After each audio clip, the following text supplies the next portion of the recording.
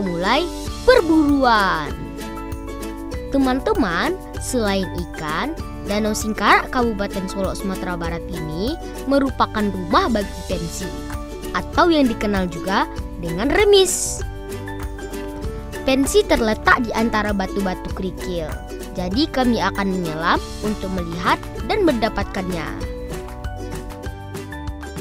Kami anak-anak Danau Singkarak sudah terlatih menyelam seperti ini teman. Mengambil pensi di dalam air lumayan sulit teman. Karena pensi paling suka berdiam di dasar danau yang berpasir. Jadi mata kita sulit membedakan mana yang pensi dan mana yang pasir kerikil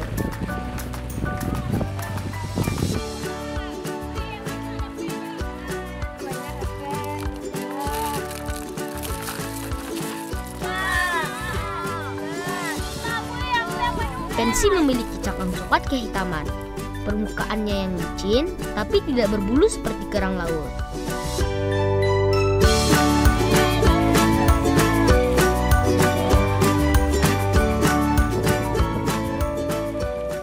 Saat sedang asik mengambil pensi, kami melihat Firman di pinggir danau. Kenapa dia terlihat sedih ya?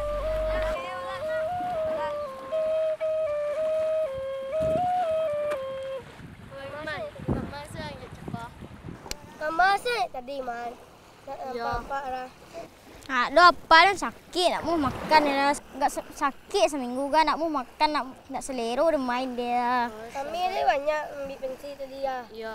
Nak buat sup lah. Lah, Datang ke rumah Pak lah. lah.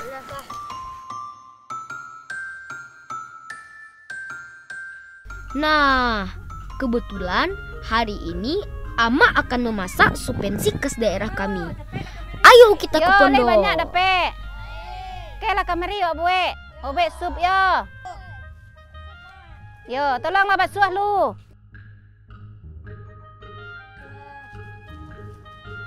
Tolong basuh lu ya.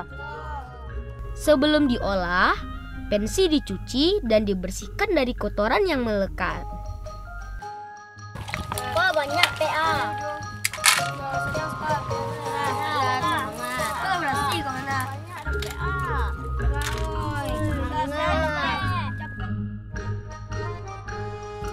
Oi, oi, oi. Ambak ya. masak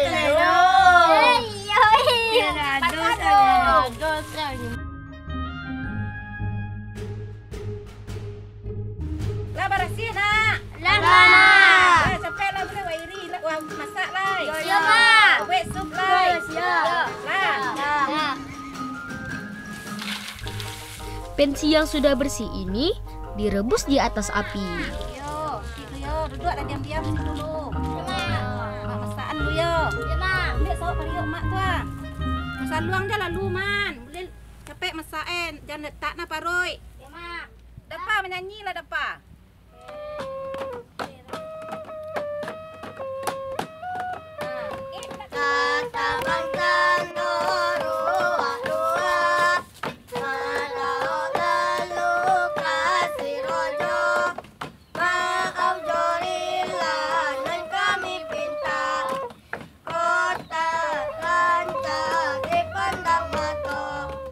Saat cangkang pensi terbuka, itu tandanya pensi sudah matang dan siap diolah.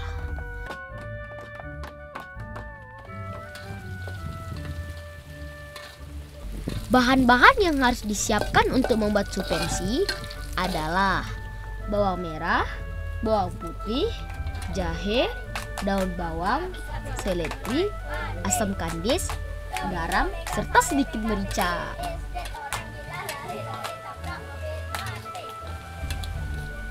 Saatnya memasak. Bila di daerah lain, daging pensi dilepas dari cangkangnya. Di daerah Ambo, pensi dimasak dengan cangkangnya. Wah, unik ya. Hmm, pasti lama. Sup pensi buatan Ama siap disantap. Kan lah ya. Nanti lu antan untuk untuk bak mak- bak kalian lu ah. Hmm. Yo, Bak Firman. Dia nak sehat eh bak tu. Ya, Ma. Makan lah sama. Lah, dah, Bella. Sama-sama makan eh. Ayo teman-teman, kita makan. Eits, cara makan pensi di kampung kami unik loh. Pensi yang masih berada di dalam cangkangnya, kita hisap hingga pensi terpisah dari cangkangnya. Jangan dimakan dengan cangkangnya teman-teman. Hehehe.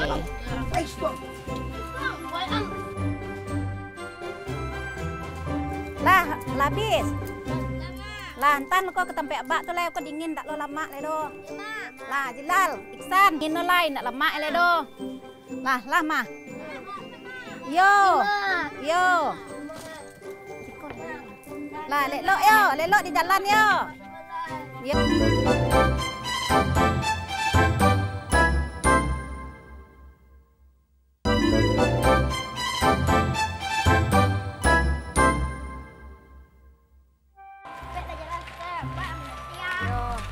Setelah selesai makan, Amak menyuruh kami mengantarkan Supensi untuk Abak Firman yang sedang sakit. Semoga saja Abak Firman Nio makan yo. Gimana Pak deh mang dari tadi nak Pak tunggu tunggu. Iya deh aneh jadi deh. Hmm. Hmm. Lama lama. Hmm. hmm. Alhamdulillah, ternyata Abak Firman mau makan supensi buatan Amak. Sambil makan sup, Ambu dan kawan-kawan memijat Abak yang sedang sakit. Semoga Abak Firman cepat sembuh ya, supaya Firman tidak sedih lagi. Sakit pelobat nak. Udah udah udah udah. Ada. alah. Yo tangan bang. Yo. Hmm.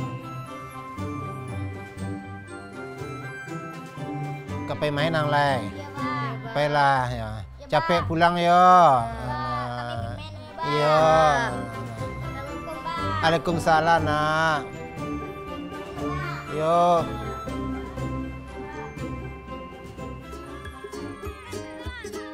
Hari ini, Ambo, Jilal, Firman, Ihsan akan bermain di salah satu bukit di kampung kami. Dari atas bukit ini, kita bisa melihat pemandangan yang sangat rancak. Ada Danau Singkara, Gunung Singgalang, dan ada kampung kecil tempat tinggal kami. Oi, dah itu dah. Oh, wak main dua-duaan sana. Oh, Dafa dek Jilal siapa? Ya, ya. Bella. Bella. Di atas bukit ini, kami akan bermain teropa saya. Ada yang tahu nggak?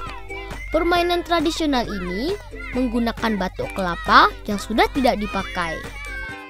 Cara mainnya sederhana. Saya dikaitkan pada jempol kaki layaknya memakai sendal jepit.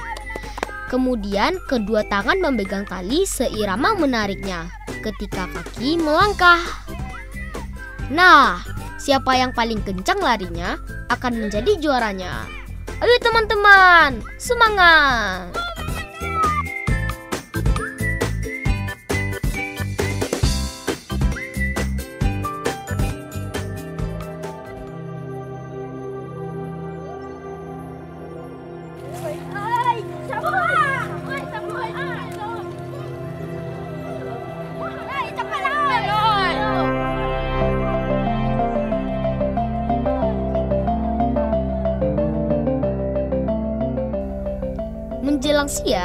Kami akan bermain kelereng.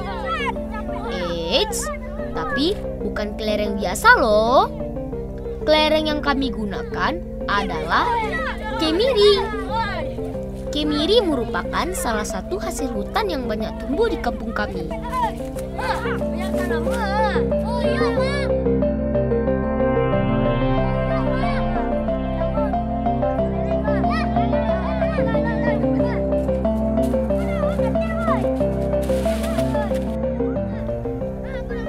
Yang jatuh kami kumpulkan dan ada juga beberapa yang sengaja kami ambil dari pohonnya.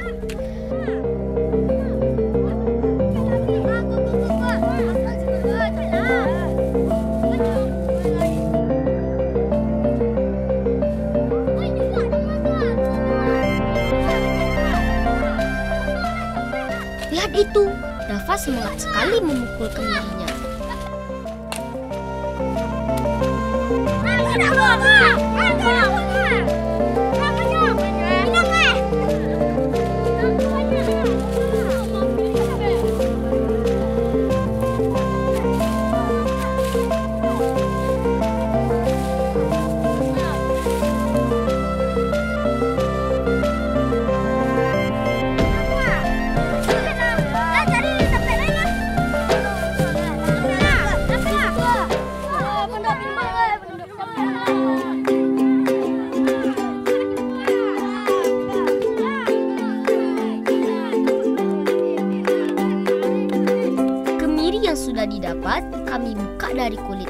Dan siap untuk menjadi kelereng.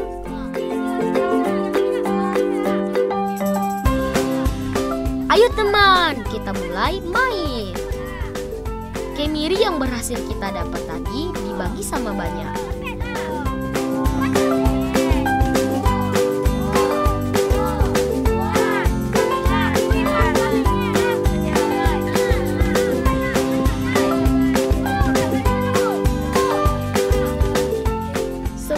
Bermain, dibuat garis dan kemiri disusun di atasnya.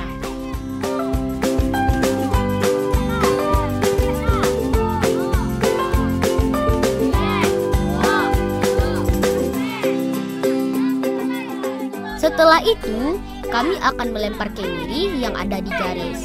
Siapa yang berhasil mengenai salah satu kemiri, maka dia berhak mendapatkan semua kemiri.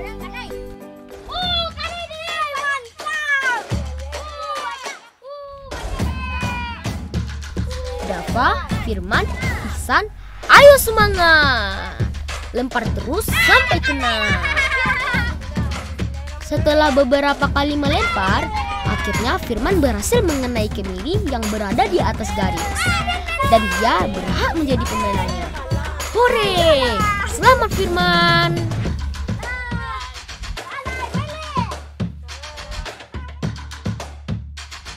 Tapi sayang, karena ayahnya sedang sakit.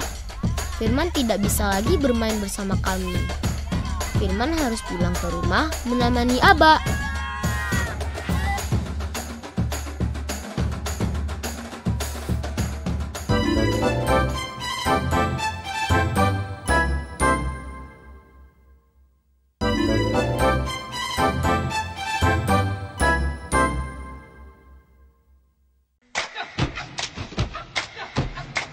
Teman-teman, selain memiliki danau yang indah, Kampung Ambo juga terkenal sebagai nagari penghasil beras Solo loh. Beras Solo terkenal hingga ke seluruh pelosok negeri. Bahkan ada lagunya loh. Hamparan lahan persawahan yang luas ini menjadi sumber mata pencarian bagi orang tua kami.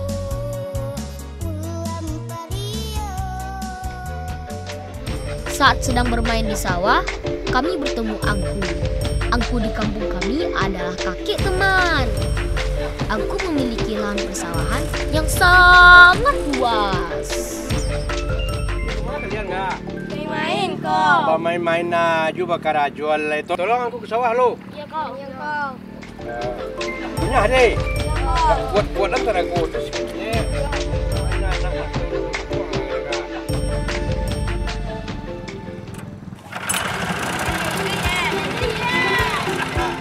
Angku selalu mengajari kami bagaimana mengolah lahan bersawahan. Mulai dari membajak hingga menanam padi di sawah. Menurut Angku, sebagai generasi muda, kami anak seniang baka tidak hanya harus pintar di sekolah, tapi juga harus bisa menjadi paganagari serta bisa bercocok tanam.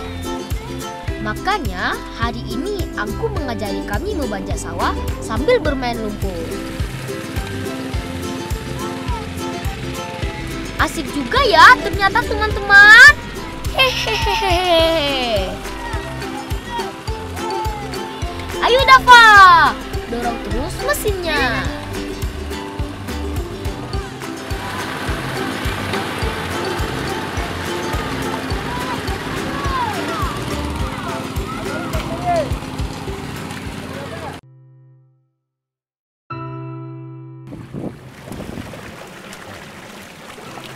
Eh, anak-anak, ah, jangan aku mengecek deh.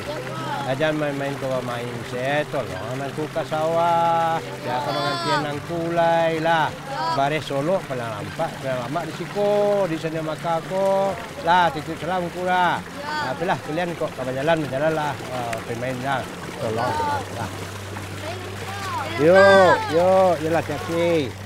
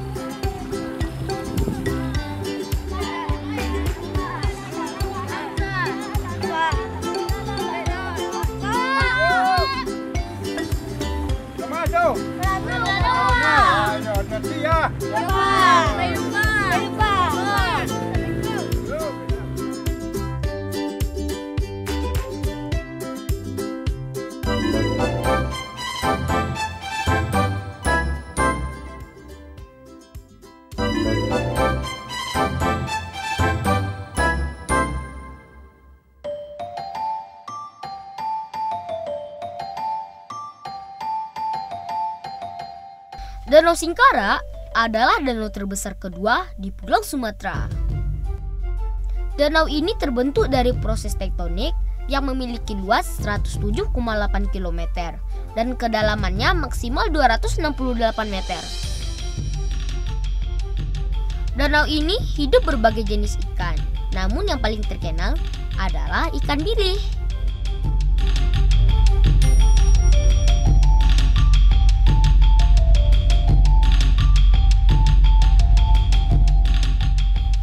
Saat bermain di danau, Ambo bertemu apa yang sedang menangkap ikan bili.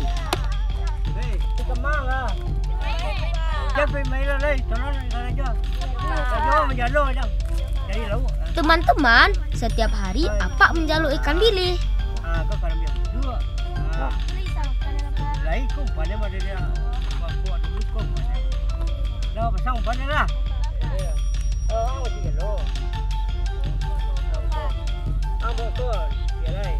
Sebelum jalur ditebar ke danau, Apa mempersiapkan umpan berupa kelapa busuk yang dibelah dan kemudian dimasukkan ke danau.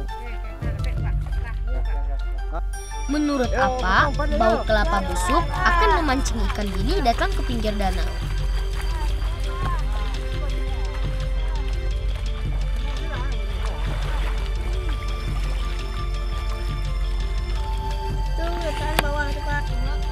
Sana. Ika. Ha.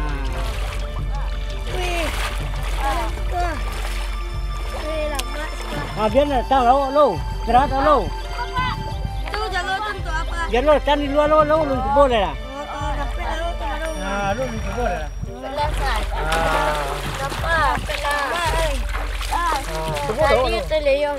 Setelah menunggu beberapa menit, Apa mulai memasang jalo. Cie, duo, tigo.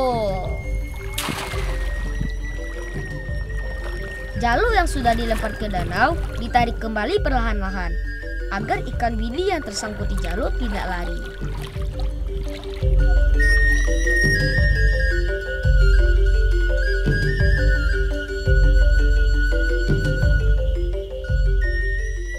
Ya, lemparan jalo pertama apa kurang memuaskan.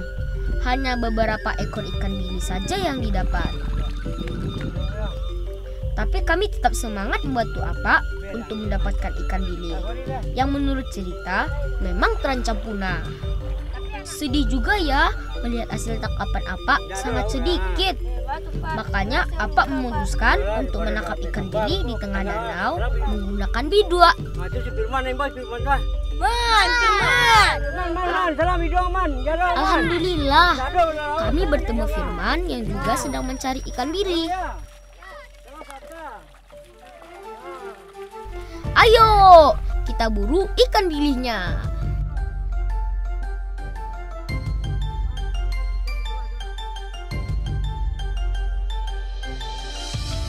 Eh gila Chan, tunggu saya di tepi ya apa di, tengah lu Ya. ada lo tepi tu. Ya. Ah, boleh tepi tepi.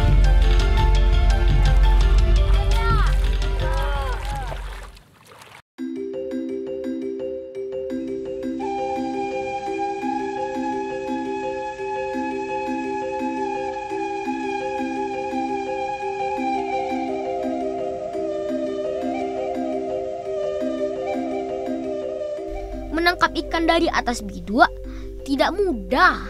Karena saat melempar jalo di posisi berdiri harus seimbang. Bila tidak ingin biduk oleng dan masuk ke danau.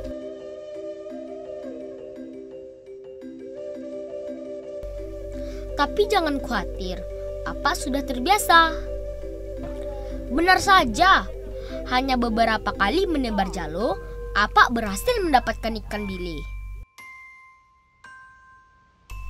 Alhamdulillah, hasil tangkapan ikan bili hari ini lumayan banyak.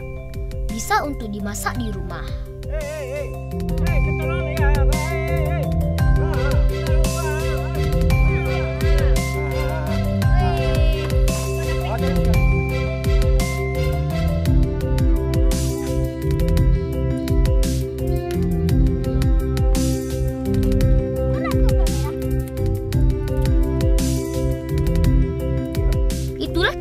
kami anak Danau Singkarak teman.